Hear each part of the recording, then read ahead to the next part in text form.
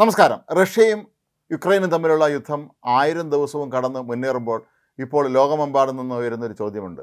Russia യുക്രൈന് നേരെ ആണവായുധം പ്രയോഗിക്കുമോ എന്നുള്ളത്. റഷ്യയുടെ കൈവശം ധാരാളം ആണവായുധങ്ങളുണ്ട് എന്നുള്ളത് നിഷേധിക്കാനാവാത്തൊരു കാര്യമാണ്. കഴിഞ്ഞ ദിവസം റഷ്യ അവരുടെ ആണവ നയത്തിന് ആകെ തന്നെ മാറ്റം വരുത്തുകയും ചെയ്തു. വലിയൊരു ഭേദഗതി തന്നെയാണ് വരുത്തിയിട്ടുള്ളത്. റഷ്യൻ പ്രസിഡന്റ് വ്ളാഡിമിർ പുടിൻ തന്നെയാണ് ഈ ഭേദഗതി അംഗീകരിച്ചത്. ഈ ഭേദഗതി വരുത്തിയതൊക്കെ തന്നെ ആണവാക്രമണം നടത്തുന്നതിന് വേണ്ടിയാണോ എന്ന് പലരും സംശയം പ്രകടിപ്പിക്കുകയും ചെയ്തിരുന്നു. റഷ്യയ്ക്ക് നേരെ ആണവായുധം കൈവശമുള്ള ഒരു രാജ്യം ആണവായുധം കൈവശമില്ലാത്ത ഒരു രാജ്യത്തിന് അത് കൈമാറിയാൽ സംയുക്ത ആക്രമണം ആണെന്ന് കണക്കാക്കി അവരെ നേരിടാം. അതിനുള്ള അവകാശം അല്ലെങ്കിൽ അധികാരം റഷ്യയ്ക്ക് നൽകുന്നതാണ് ഈ ഒരു പുതിയ ഭേദഗതി. റഷ്യ ഉൾപ്പെടെയുള്ള ലോകത്തെ വൻ ശക്തികളുടെ കയ്യിൽ എത്ര ആണവായുധങ്ങളുണ്ട് എന്നുള്ളത് പലരും ചോദിക്കാറുള്ള അതിന് നമുക്ക് മറുപടിയുണ്ട്. ലോകത്തെ ഏറ്റവും അധികം ആണവായുധങ്ങളുള്ള രാജ്യം അമേരിക്ക തന്നെയാണെന്നാണ് പറയപ്പെടുന്നത്. രണ്ടാം സ്ഥാനം മാത്രമാണ് റഷ്യയ്ക്കുള്ളതെന്ന് കരുതപ്പെടുന്നു. എങ്കിലും റഷ്യയുടെ കയ്യിലുള്ള ആണവ ശേഖരത്തെക്കുറിച്ചുള്ള കൂടുതൽ വിശദാംശങ്ങളാണ് ഇപ്പോൾ പുറത്തു വന്നിരിക്കുന്നത്. സോവിയറ്റ് യൂണിയൻ വിഭജിക്കപ്പെട്ട സമയത്ത് റഷ്യയ്ക്കാണ് ഏറ്റവും പ്രധാനപ്പെട്ട ആണവ സംവിധാനങ്ങളും ആണവായുധങ്ങളും ഒക്കെ തന്നെ ലഭിച്ചത്. അതുകൊണ്ട് തന്നെ ഒരുപക്ഷെ ലോകത്തെ ഏറ്റവും അധികം ആണവായുധങ്ങൾ കൈവശമുള്ള രണ്ടാമത്തെ രാജ്യം റഷ്യ തന്നെ ആയിരിക്കാനാണ് സാധ്യത. ഫെഡറേഷൻ ഓഫ് അമേരിക്കൻ സയന്റിസ്റ്റ് എന്ന സംഘടനയുടെ കണക്കുകൾ പ്രകാരം റഷ്യയുടെ കൈവശം അയ്യായിരത്തി അഞ്ഞൂറ്റി എൺപത് ആണവായുധങ്ങൾ ഉണ്ട്.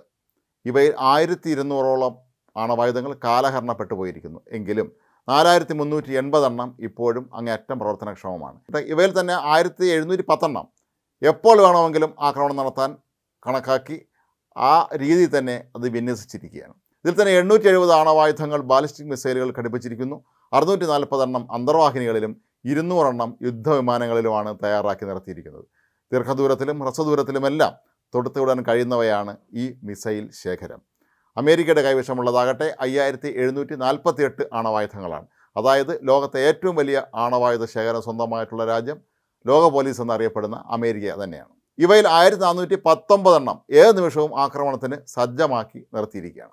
മറ്റുള്ള ഓരോ രാജ്യത്തിന്റെ കൈവശമുള്ള ആണവായുധങ്ങളുടെ എണ്ണം ഇങ്ങനെയാണ്. ഇത് വളരെ കൃത്യമായും ഈ ഒരു എണ്ണം തന്നെ ആകണം എന്നില്ല. എങ്കിലും ഈ ഒരു സംഘടന പുറത്തുവിട്ട കണക്കുകൾ മാത്രമാണ് ഇവിടെ പ്രതിപാദിക്കുന്നത്. ചൈന അഞ്ഞൂറ് ഫ്രാൻസ് ഇരുന്നൂറ്റി തൊണ്ണൂറ് ബ്രിട്ടൻ ഇരുന്നൂറ്റി ഇരുപത്തഞ്ച് ഇന്ത്യ നൂറ്റി എഴുപത്തിരണ്ട് പാകിസ്ഥാൻ നൂറ്റി എഴുപത് എന്നിങ്ങനെയാണ് ഈ ഒരു കണക്ക്.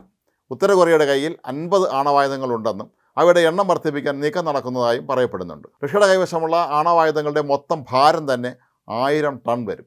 അതായത് രണ്ടാം ലോക മഹായുദ്ധകാലത്ത് അമേരിക്കയിലെ ഹിരോഷിമയിൽ വർഷിച്ച അണുബോംബിന്റെ ആറിരട്ടി വലിപ്പവും ശക്തിയും ഇതിനുണ്ട്. കൂടാതെ റഷ്യ അവരുടെ ഭൂഖണ്ഡാന്തര മിസൈൽ ലോഞ്ചറുകളിലാണ് ആണവായുധങ്ങൾ ഉറപ്പിച്ചിരിക്കുന്നത്. ലോകത്തെ പ്രധാന നഗരങ്ങളായ ലണ്ടനിലും വാഷിങ്ടണിലും എല്ലാം റഷ്യയ്ക്ക് നിഷ്പ്രയാസം ആണവായുധം പ്രയോഗിക്കാൻ കഴിയും.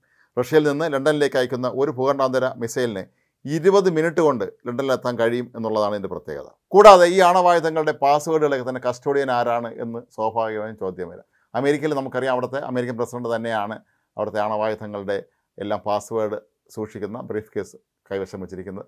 അതുപോലെ റഷ്യയുടെയും ആണവായുധങ്ങൾ സംബന്ധിച്ച് അവരുടെ എല്ലാ രഹസ്യങ്ങളും അടങ്ങിയ ആ ഒരു ബ്രീഫ് കേസ് റഷ്യൻ പ്രസിഡന്റ് കൈവശമാണുള്ളത്.